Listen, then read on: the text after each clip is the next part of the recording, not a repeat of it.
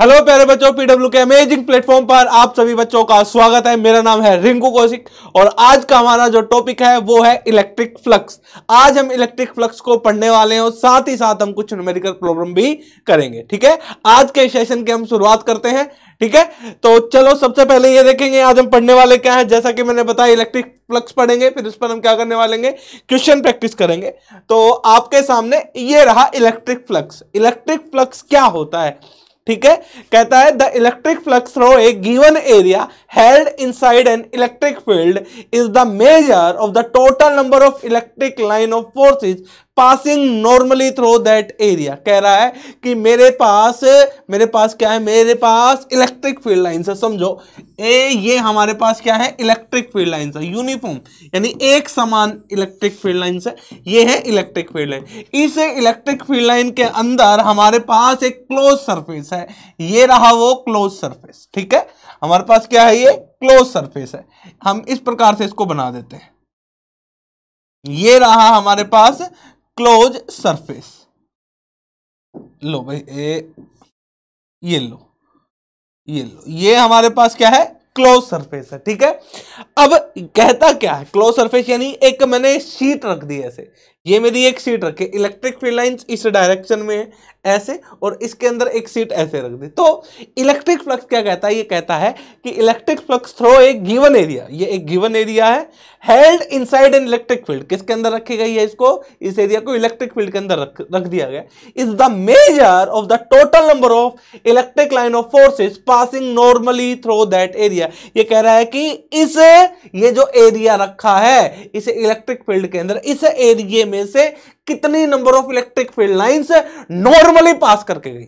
तो ये मेजर करता है कि number of electric field lines passing normally through that area यानी ये जो एरिया इस एरिया, जो एक क्लोज सरफेस है जो हमने सरफेस है इसके अंदर जो रखा है इस सरफेस में से कितनी number of electric field lines normally pass करके गया है वो हमें बताता है इलेक्ट्रिक फ्लक्स इलेक्ट्रिक फ्लक्स हमें क्या बताता है? कितनी number of electric field lines किसी सरफेस में से नॉर्मली पास करके गई हैं, वो हमें इलेक्ट्रिक फ्लक्स बताता है, वो हमें इलेक्ट्रिक फ्लक्स समझाता है, ठीक है? तो ये एरिया है। अच्छा भाई एरिया है एरिया वेक्टर की डायरेक्शन क्या होगी भाई साहब? इस सरफेस के परपेंडिकुलर तो इस सरफेस के परपेंडिकुलर हमने ये बना दिया। ठीक है? अब इलेक्ट्रिक फ़ील्ड इस सरफेस के परपेंडिकुलर ये है। भाई, इस एरिया की डायरेक्शन ये है। इलेक्ट्रिक फ़ील्ड की डायरेक्शन ये है। ठीक है? अच्छा फ्लक्स का फॉर्मूला क्या है? यानी कैसे, किस फॉर्मूले से हम कैलकुलेट करेंगे? वो हमारे पास है E dot D S E dot D S ये हमारे पास है। किसके लिए? क्लोज सरफेस के लिए। किसके लिए? क्लोज सरफेस के लिए। यानी इलेक्ट्रिक फ़ील्ड और जो एरिया रखा गया है, वो एरिया जो एरिया रखा गया है, वो एरिया उन दोनों का क्या है?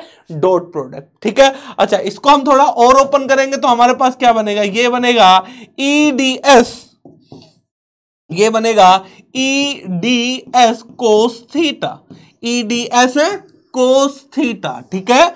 ये हमारे पास ये हमारे पास फॉर्मूला है।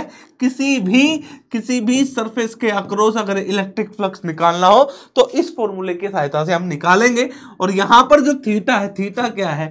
Theta is angle theta is angle between theta is angle between electric field electric field electric field and and theta is angle between electric field and area vector electric field and area vector इन दोनों के बीच का angle है that is the theta ये है, यानी electric field ये है, ये जो एरिया वेक्टर है, उसके बीच का, इन दोनों के बीच का एंगल क्या है?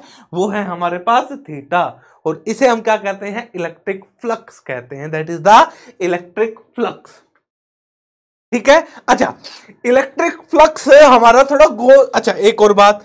इलेक्ट्रिक फ्लक्स कैसी क्वांटिटी है? स्केलर क्वांटिटी की वेक्टर क्वांटिटी दो वेक्टर का डॉट प्रोडक्ट हमेशा कैसी क्वांटिटी देता है? स्केलर क्वांटिटी देता है। तो हमारे पास जो इलेक्ट्रिक फ्लक्स है, वो कैसी क्वांटिटी है? स्केलर क्वांटिटी है। कैसी क्वांटिटी है मेरे प्यारे बच्चों? स्केलर क्वांटिटी अच्छा जी, दूसरा, इसकी यूनिट की बात करते हैं तो इलेक्ट्रिक फ्लक्स को किस यूनिट में मेजर किया जाता है? इलेक्ट्रिक फ्लक्स को हम किस यूनिट में मेजर करते हैं, बताओ जरा। इलेक्ट्रिक फ़ील्ड के लिए हमारे पास क्या यूनिट है? न्यूटन पर कुलाम है कि नहीं है? है ना?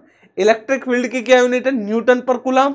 अच्छा देखो यूनिट निकालना है तो अपन दो तरीके से, भाई, इलेक्ट्रिक फ़ील्ड की यूनिट और जो एरिया की यूनिट है, उससे मल्टीप्लाई कर दो।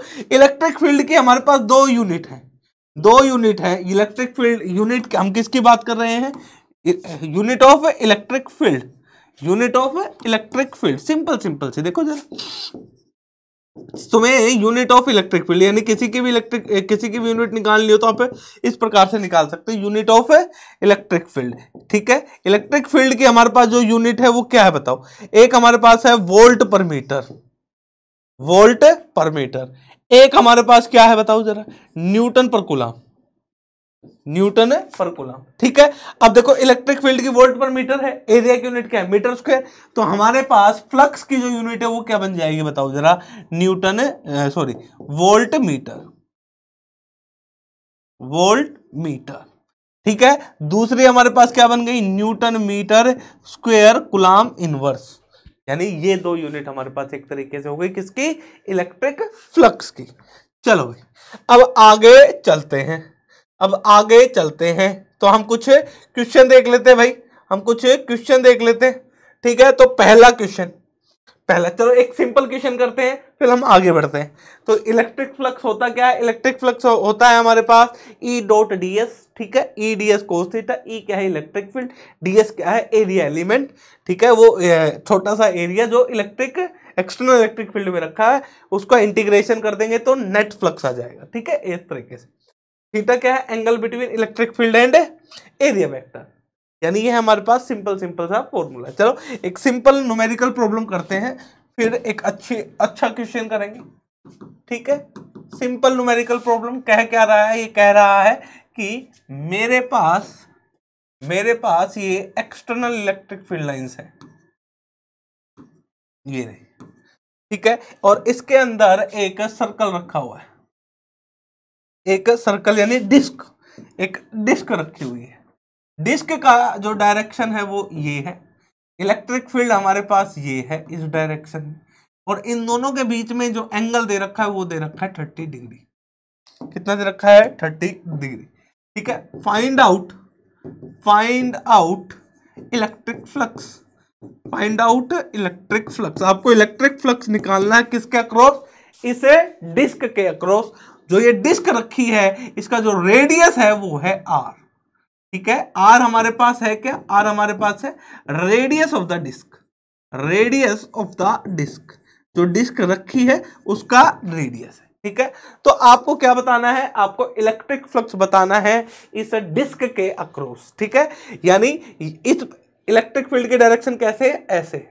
इस डायरेक्शन। और जो हमारे पास डिस्क है, वो कैसे रखी है? ऐसे। यानी इलेक्ट्रिक फ़ील्ड ऐसे है ठीक है, डिस्क ऐसे इन दोनों के बीच में एंगल होगा। अब ये डिस्क जो है, ये तो क्लोज सरफेस है सॉरी ये सरफेस है, ठीक है एरिया है। एरिया वेक्टर की डायरेक्शन क्या होती है? सरफेस जो होता है उसके परपेंडिकुलर या तो ये होगी या फिर ये होगी।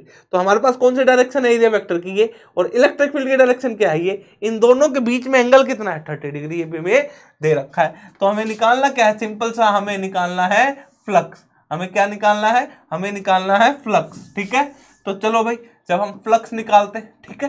तो फ्लक्स निकालेंगे तो हमारे पास क्या बनेगा? ये बनेगा E dot D S E dot D S ठीक है भाई? अच्छा इलेक्ट्रिक फ़ील्ड क्या है? E area D S cos angle क्या है इन दोनों के बीच में? यहाँ पर मैंने एक छोटा सा एरिया माना भाई कैलकुलेट करने के लिए, ये रहा डी एस एरिया इस एरिया की, ये एरिया कितना है? डी एस छोटा सा एरिया इस एरिया की डायरेक्शन क्या है? थर्टी डिग्री तो हमारे पास यहाँ पर कितना है? कोस थर्टी तो जो फ्लक्स बनेगा हमारे पास क्या बनेगा? E D S cos thirty की वैल्यू क्या होती है? Under root three by two under root three by two अब देखो जरा, यहाँ पर जो इलेक्ट्रिक फ़ील्ड दे रखे वो यूनिफॉर्म है। एक समान है, यानी पूरे रीजन में कैसी है? एक समान। तो जो कांस्टेंट चीज़ है, वो इंटीग्रेशन से बाहर आती है, यानी इलेक्ट्रिक फ़ील्ड भी यूनिफॉर्म है under root three by two भी बाहर आ गया, और ये आ गया डीएस डीएस हमने ये छोटा सा एरिया माना था। अभी छोटे से एरिया के लिए इंटीग्रेशन करेंगे तो इस पूरी प्लेट का एरिया इस पूरी सर्कुलर प्लेट का एरिया क्या होगा?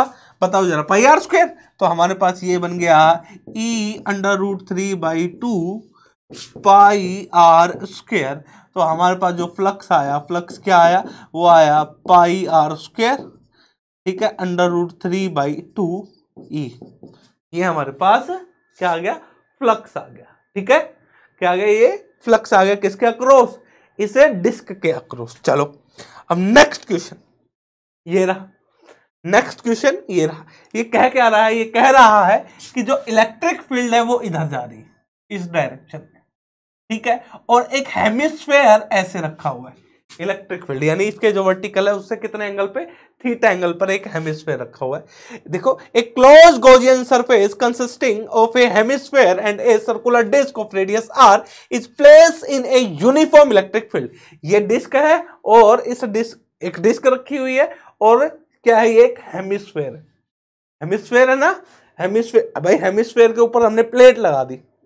भाई, एक गेंद है, गेंद को काटा, काट के उसके ऊपर लगा दी प्लेट तो एक तो ये प्लेट हो गई और एक हेमिस्फेयर हो गया। सो हाफ़ है ये ठीक है, यही कह रहा है। Close Gaussian surface consisting of hemisphere and a circular disc of radius R is place in a uniform electric field E as shown in the figure the circular disc make an angle 30 uh, theta is equal to 30 degree with the vertical the flux of the electric field vector coming out of the curved surface of the hemisphere is ये कह रहा है कि जो ये hemisphere है जो ये कर्ड सरफेस है इसमें से इसके अक्रॉस आप बताएँ इलेक्ट्रिक फ्लक्स क्या होगा?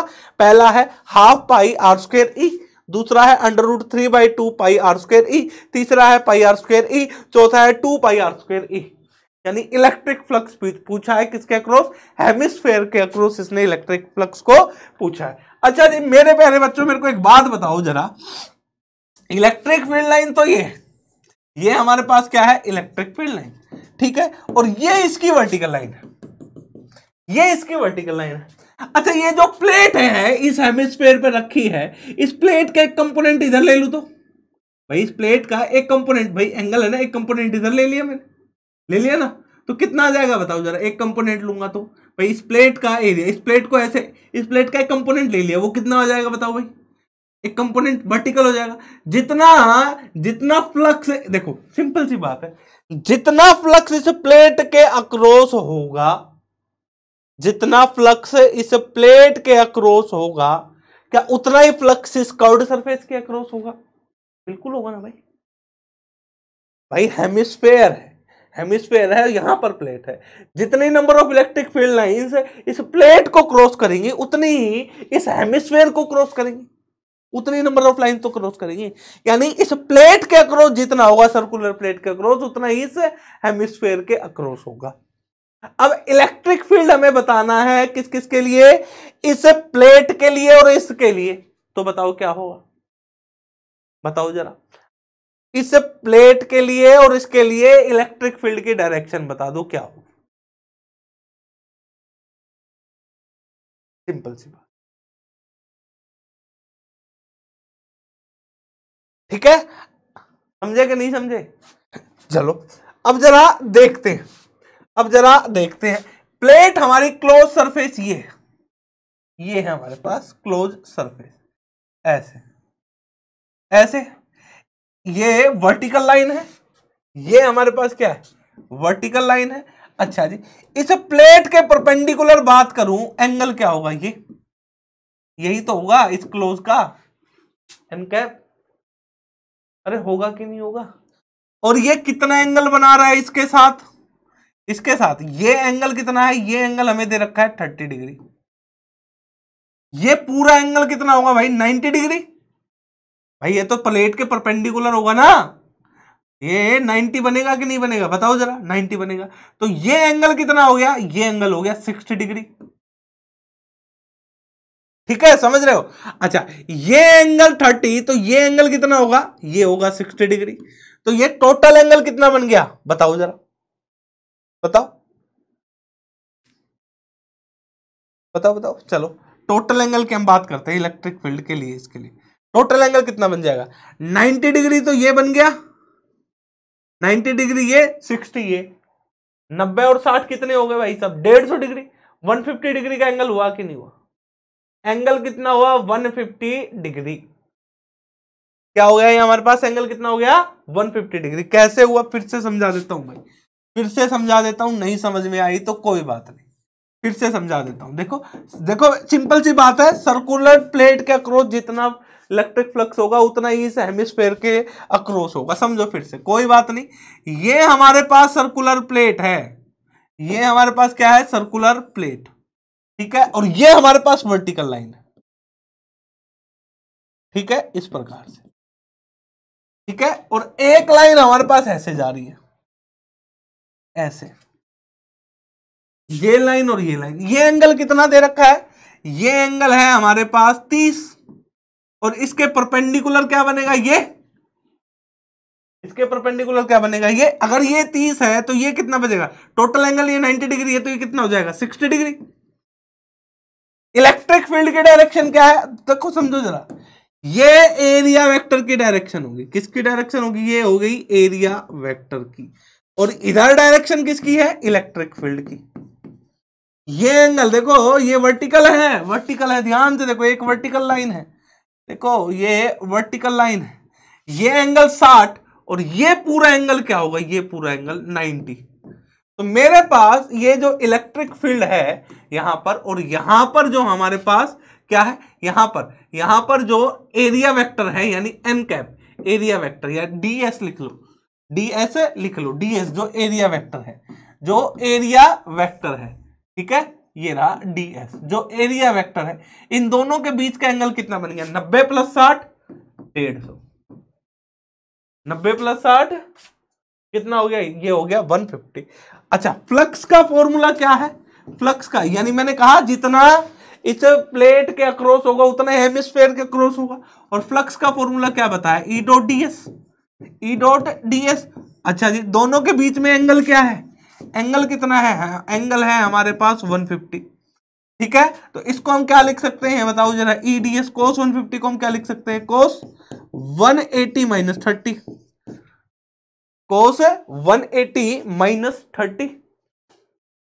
कौन सा क्वाड्रेंट है हमारे पास? ये सेकंड क्वाड्रेंट ठीक है?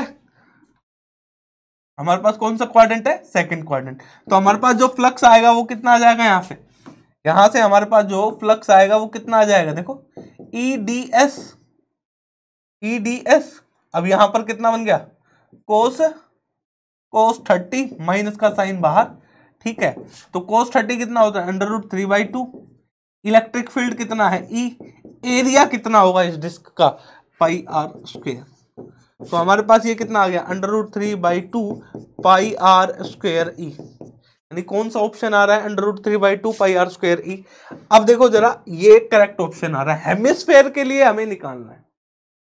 ठीक है? अब मेरे को एक बात बताओ मेरे प्यारे बच्चों, ये आपको जस्ट मैंने आपको समझाने के लिए कि इनके बीच में एंगल अपन ऐसे भी ले सकते थे। दूसरी एक और सबसे सिंपल तरीका क्या है? ये जो प्लेट है ना, इसको ऐसे खड़ी कर दो। जैसे इस प्लेट को खड़ी करूँगा तो इसका एरिया क्या बन जाएगा? बताओ जरा।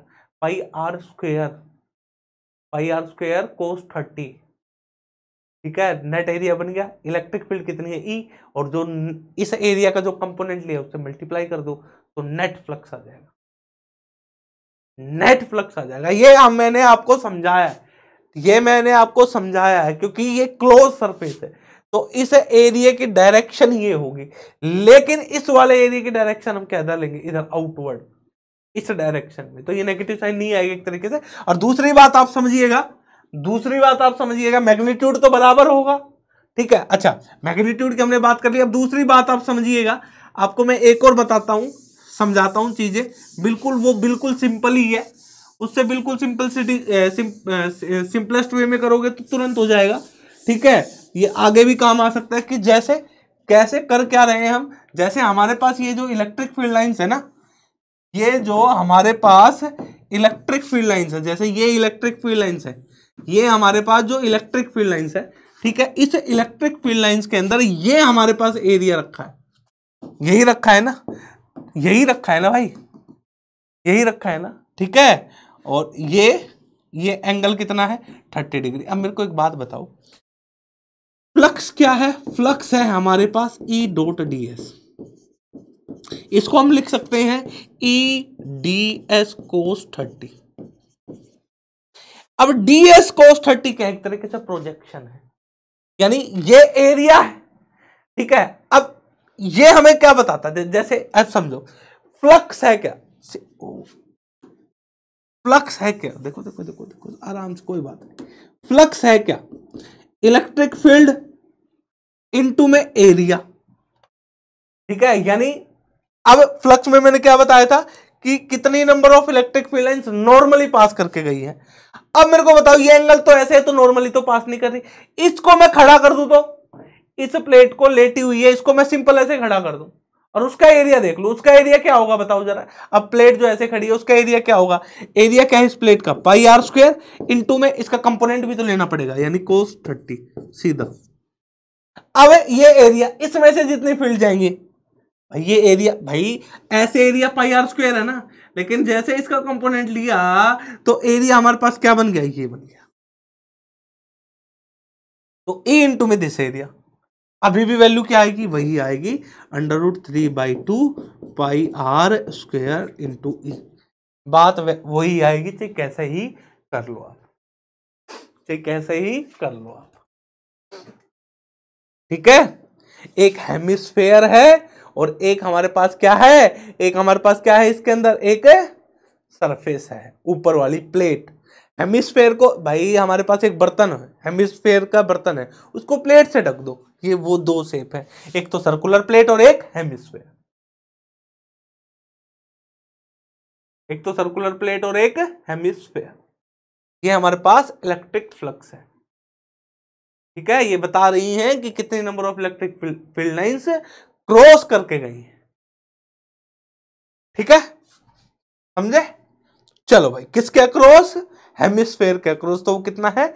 Under root three by two pi R square ठीक है? जितना प्लेट के क्रॉस होगा, उतना ही हेमिस्फेयर के क्रॉस होगा। तो प्लेट के क्रॉस क्या होगा? प्लेट का एरिया को हमने एक कंपोनेंट ले लिया। वर्टिकल। सिंपल। और जैसे पहले किया भी, हम वैसे भी कर सकते हैं तो भी वही आएगा magnitude. Under root three by two pi R square E ये रहा नेक्स्ट क्वेश्चन हमारे सामने। कह रहा है three charges are located on the circumference of a circle of radius R as shown in the figure below the two charges Q subtend 90 degree at the centre of the circle the charge Q is symmetrically place with respect to the charges Q कह रहा है, ये जो Q charges है और जो ये small Q है, ये सिमेट्रिकली प्लेस रखा है। यानी जितना एंगल ये बनाएगा, उतना ही एंगल ये बनाएगा। सिंपल सी बात है। सिमेट्रिकली प्लेस का मतलब ये है कि बराबर एंगल होंगे। ठीक है? अच्छा आगे कहता है if the electric field at the if the electric field at the centre of the circle is zero ये जो सर्कल है, यानी सर्कल के सेंटर पे जो इलेक्ट्रिक फ़ील्ड है, वो है zero but is the magnitude of small Q कह रहे हैं स्मॉल क्यू का मैग्नीट्यूड क्या? होगा यानी ये जो चार्ज है, इसका मैग्नीट्यूड क्या होगा? ठीक है? ये जो क्वेश्चन होगा, ये होगा लेमीज थ्योरम से। किससे होगा ये? ये मेरे प्यारे बच्चों लेमीज थ्योरम से होगा। लेमीज थ्योरम से। लेमीज थ्योरम क्या कहती है? वो कहती है, एक फोर्स इधर है F1 एक फोर्स इधर है F2 और एक फोर्स इधर है F3 ये एंगल है अल्फ़ा ये एंगल है बीटा और ये वाला एंगल है गामा ठीक है? और जो ये पॉइंट है ये पॉइंट किसमें है? इक्लिबिलियम में, यानी इस पॉइंट पर नेट फोर्स क्या है? ज़ीरो यानी किसमें है ये पॉइंट इक्लिबिलियम में। ये पॉइंट किसमें है? इक्लिबिलियम में। अच्छा इक्लिबिलियम में है तो नेट फोर्स क्या होगा? ज़ीरो तो लेमी थ्योरम कहती है कि F1 अपॉन इसके सामने एंगल क्या है? अल्फ़ा तो ये sine alpha is equal to F two ये क्या है? एफ़ टू इसके सामने एंगल क्या है? बीटा तो यहाँ पर आ जाएगा साइन बीटा ये क्या है? एफ़ थ्री इसके सामने एंगल क्या है? गामा तो यहाँ पर आ जाएगा sine gamma that is the Lami's theorem इसी थ्योरम से क्वेश्चन सोल्व होगा। चलो, कैसे होगा आप देखो जरा। अब मेरे को एक बात बताओ। ये Q1 है, इसकी वजह से ये Q1 है, इसकी वजह से इलेक्ट्रिक फ़ील्ड किधर होगी? इधर होगी ना? इस लाइन के लो इस लाइन के अलोंग क्या होगी? इलेक्ट्रिक फ़ील्ड इस इस वाले चार्ज को मैंने बोल दिया स्मॉल Q1 इस वाले चार्ज को स्मॉल Q2 और इस वाले को स्मॉल क्यू थ्री। तो क्यू वन चार्ज की वजह से तो यानी ई वन इलेक्ट्रिक फ़ील्ड तो कितनी होगी? बताओ जरा, capital Q upon four pi epsilon naught दूरी क्या है? आर रेडियस है आर स्क्वायर इस क्यू की जैसे पॉजिटिव चार्ज है तो इसकी वजह से जो इलेक्ट्रिक फ़ील्ड होगी, वो किधर होगी भाई? वो हमारे पास इधर होगी। कितनी होगी वो? ई टू ई टू कितनी होगी बताओ जरा। Capital Q upon four pi epsilon naught capital R square इसी प्रकार ये स्मॉल क्यू है। इस स्मॉल क्यू की वजह से भी इलेक्ट्रिक फ़ील्ड होगी, किधर होगी? इधर। यानी ई थ्री वो कितनी होगी भाई? स्मॉल क्यू है। तो small Q upon four pi epsilon naught और ये जो रेडियस है आर इसका स्क्वायर ठीक है, ये तीन इलेक्ट्रिक फ़ील्ड होंगे। अब ये सेंटर पे नेट फोर्स क्या है? ज़ीरो तो कौन सी थ्योरम लगेगी? सीधी सीधी हमारे पास लेमिस थ्योरम लगेगी, यानी कि ये हमारे पास ई e वन ये हमारे पास ई e टू और ये हमारे पास जो है ई e थ्री इन दोनों के बीच में एंगल क्या है? नाइन्टी डिग्री ठीक है ना? अरे भाई, इसके जस्ट अपोजिट बने है ना।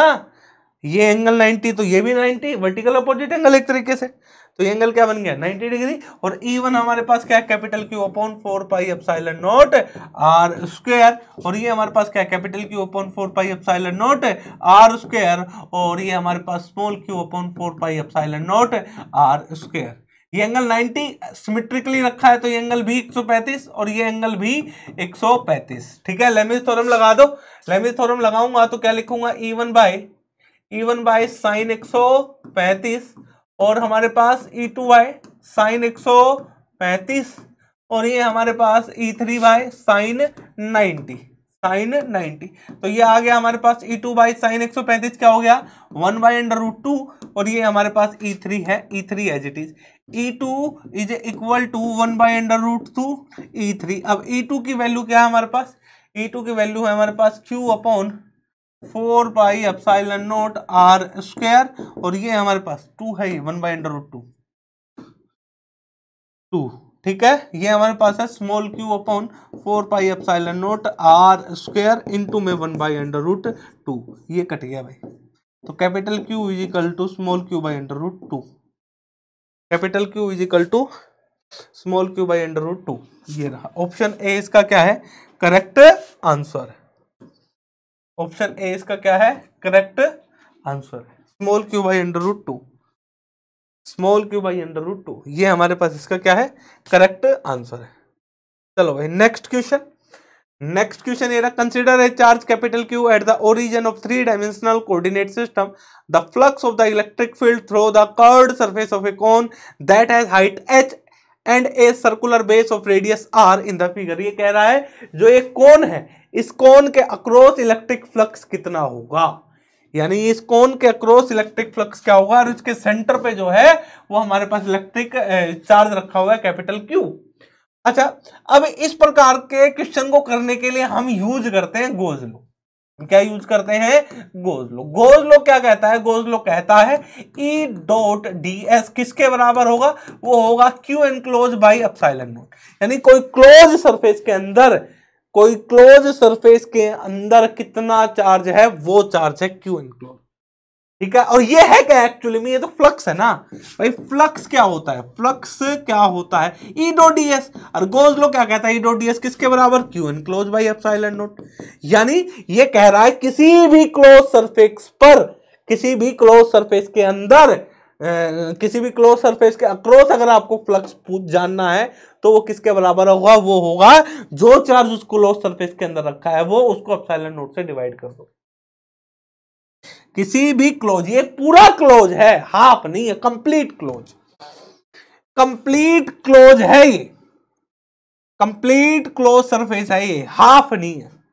किसी भी पूरे क्लोज सरफेस के अंदर। समझे कि नहीं जब भी क्लोज सरफेस होगा तो उस पूरे क्लोज सरफेस के अंदर जो टोटल चार्ज रखा है, उसको अपसाइलन नोट से डिवाइड कर दो तो हमें ई डॉट डीएस मिल जाएगा। और ई डॉट डी क्या होता है? फ्लक्स यानी फ्लक्स मिल गया उस क्लोज सरफेस के क्लोज अरे, नहीं आई बात समझ में। अरे, आई कि नहीं आई? नहीं आई। बताओ जरा। आ गई, सर। आ गई, सर। आ गई तो हो जाएगा। अब देखो ये ये हमें हाफ़ है। इसका हमें पता है। और इसके सेंटर पे क्या रखा है? चार्ज रखा है क्यू मैंने क्या किया? एक और कौन ले ली और रख दिया। अब ये पूरा क्लोज सरफेस हो गया ना। इस पूरे क्लोज सरफेस के लिए इलेक्ट्रिक फ्लक्स क्या बनेगा? पूरे क्लोज सरफेस के लिए बताओ जरा। इस पूरे क्लोज सरफेस के लिए इलेक्ट्रिक फ्लक्स क्या होगा? वो होगा। टोटल चार्ज कितना परसेंट है इसमें? Q Q by F naught लेकिन मेरे को तो कौन के लिए बताना है? किसके लिए? इस कौन के लिए। तो कौन के लिए बताना जितना जितना एरिया इसका है, उतना ही एरिया इसका। यानी सेम लिए मैंने कौन। तो यानी इनको दो टुकड़ों में लिख सकता हूँ ना मैं। E dot D S one plus में E dot D S two D S two. Q by epsilon naught जितना फ्लक्स इस कौन के क्रॉस होगा, उतना ही इसके क्रॉस होगा ना, दोनों बराबर ही होंगे ना। तो ये दोनों बराबर होंगे ना तो टू टाइम्स कर दू। Two times of E dot D S one किसके बराबर? क्यू भाई? अब साइलेंट नोट तो मेरे पास नेट फ्लक्स क्या आ गया? यहाँ से बताओ। E dot D S one equal to Q by two epsilon naught क्योंकि ये तो सेंटर में रखा है ना तो जितना फ्लक्स है, ऊपर वाले का क्रॉस होगा, उतने फ्लक्स नीचे वाले का क्रॉस होगा। सिंपल सी बात है भाई। क्या करें बताओ? Q by two epsilon naught तो करेक्ट ऑप्शन क्या है? Q by two epsilon naught option B इसका करेक्ट आंसर है। अच्छा जी, अब लो एक और क्वेश्चन आईएससी 2009 में पूछा गया, कह रहा है a charge is place at the vertex of a cube एक क्यूब के वर्टेक्स पर हमने एक चार्ज रख दिया। The electric flux through a face that does not touch the charge is given ये कह रहा है ये क्या कह रहा है कि मेरे पास एक क्यूब है। ये रही वो क्यूब ये रही वो क्यूब इस क्यूब के एक कोने पर हमने क्या रख दिया? चार्ज रख दिया। यहाँ पर रख दिया चार्ज और ये वाला फेस के इस, इस चार्ज को टच कर रहा है? नहीं कर रहा है। तो इस फेस के अक्रॉस आपको फ्लक्स बताना है। हम लगाना क्या चाहते हैं? हम लगाना चाहते हैं हम लगाना चाहते हैं ये, हम लगाना चाहते हैं ये Q enclosed by epsilon naught लेकिन ये जो चार्ज है, ये तो कोने पर रखा है ना सरफेस के अंदर नहीं है। जिसका सरफेस हमें पता है। तो मैं क्या करूँगा, मैं क्या करूँगा, मैं इसको मैं इसको इस प्रकार से अरेंज करना चाहूँगा ताकि ये रखा जाए सरफेस के अंदर। देखो कैसे। मैंने क्या किया, मैंने इसके जस्ट बगल में एक डब्बा सेम डब्बा रख दिया। सेम सेम डब्बा। ये लो ये। सेम, बगल में सेम डब्बा, ठीक है? ये लो, सेम डब्बा रख दिया। इसी प्रकार मैंने दो नीचे रख दिए।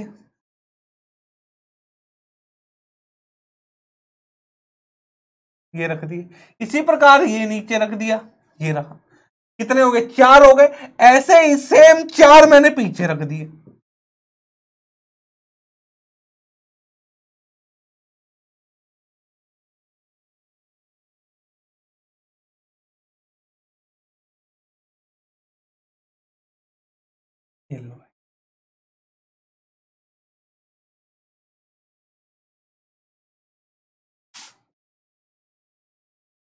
चार ऊपर, चार नीचे। अब ये बड़े क्यूब के सेंटर में हुआ कि नहीं हुआ? अब देखो, सेंटर में रखा ना तो सेंटर में चार्ज रखा तो जितना फ्लक्स इस आगे वाले फेस के क्रॉस होगा, उतना ही फ्लक्स इसके साइड वाले फेस का क्रॉस होगा, और उतना ही फ्लेक्स इसके ऊपर वाले होगा। यानी एक फेस के अक्रॉस ये जो कंप्लीट फेस बना है, यानी ये A B C D complete face के अक्रॉस कितना बनेगा? सिक्स टाइम हो जाएगा ना भाई, क्योंकि बराबर है ना। बराबर है, जितना जितना इलेक्ट्रिक फ्लक्स इस वाले के होगा, उतना इस वाले के, उतना इस वाले के, और एक क्यूब के कितने फेस होते छह, यानी छह के बराबर होगा। तो क्या लिख दू? Six time six time E dot D S ठीक है? किसके बराबर आ गया ये? क्यू टोटल चार्ज कितना परसेंट है? Q Q by epsilon naught कौन सा फेस की बात कर रहा हूँ मैं? A B C D A B C D अब इस, यानी A B C D A B C D face के अक्रॉस कितना आ गया? Q by six epsilon naught आ गया भाई। Q by six epsilon naught यानी इस वाले फेस के अक्रॉस जो नेट फ्लक्स आया, वो इतने आए लेकिन इस पर पूरा नहीं निकालना ना। मेरे को तो केवल कौन से रीजन के लिए निकालना है? इस वाले रीजन के लिए। ये कौन सा वन बाई फोर्थ है ना। तो इसको डिवाइड किससे कर दू? वन बाई फोर्थ से। किससे डिवाइड कर दू? वन बाई फोर्थ से। तो ये बन गया ए ओ ए ओ ई एफ़ यानी हम निकाल रहे हैं electric flux E dot D S किसके लिए? ए ओ ई एफ़ तो कितना आ जाएगा? वन बाई फोर्थ कर दो। तो छः चौके चौबीस Q by twenty four of epsilon naught तो ये हमारे पास है Q by twenty four of epsilon naught यानी इसका ऑप्शन ए क्या है? करेक्ट आंसर था। और ये हमारा आज क्या था? इलेक्ट्रिक फ्लक्स था। इलेक्ट्रिक फ्लक्स के लिए आज हमने इलेक्ट्रिक फ्लक्स को जाना, समझा और कुछ प्रॉब्लम भी की और आज के सेशन यहीं तक था। नेक्स्ट सेशन में कुछ बेहतरीन चीज़ों के साथ मैं आपके सामने प्रेजेंट रहूँगा। थोड़ा गोज लो को और जानेंगे नेक्स्ट सेशन में कि गोज लो क्या होता है और डिफरेंट डिफरेंट स्ट्रक्चर के लिए भी हम इलेक्ट्रिक फ़ील्ड को निकालना सीखेंगे। तो मेरे प्यारे बच्चों, आप अपनी मेहनत करते रहिएगा। आज के लिए यहीं तक था। Thank you